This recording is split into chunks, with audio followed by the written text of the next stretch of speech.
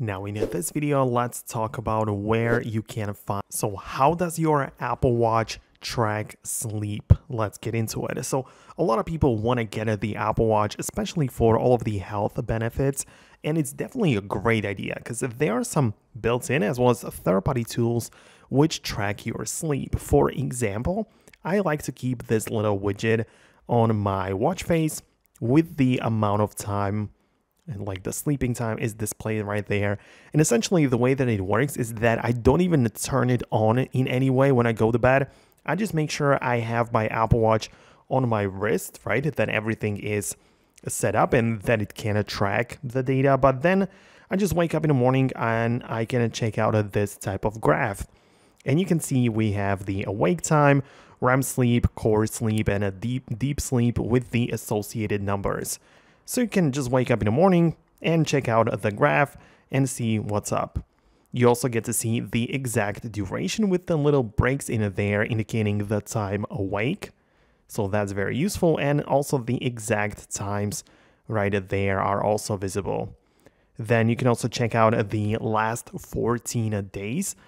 So the first seven days compared to the next seven days, so to speak, right? And you can see it's pretty consistent for me but if it would be increased or decreased it would let you know about that.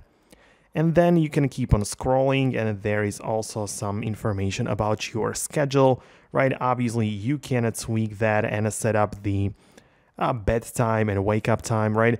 But honestly it's not even that important because whenever you fall asleep wearing the apple watch it is going to track it and put it right there Obviously, the data is also accessible inside of the Apple Health app, so you can browse it on a larger screen if you wanted to.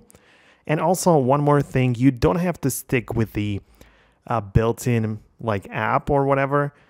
What you can do is also get a third-party sleep tracker. So there are plenty of them. There is one called Pillow, which I tried out. So this is the one which I'm talking about. Naturally, it works on the Apple Watch.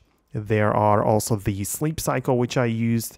Then there is the sleep watch, so many other apps which you can try out. But personally, if I'm being honest, the built-in tools, right, are okay. I would say it's going to be enough for a lot of people. All of us have the like bed application on our Apple Watches. So you should be able to make it work without any issues. So let me know below in the comments if you have experience with any specific uh, app for sleep tracking, or if you want to try out something, let me know below. Leave any questions there as well. Thanks a lot, and I'm going to catch you in the future uploads.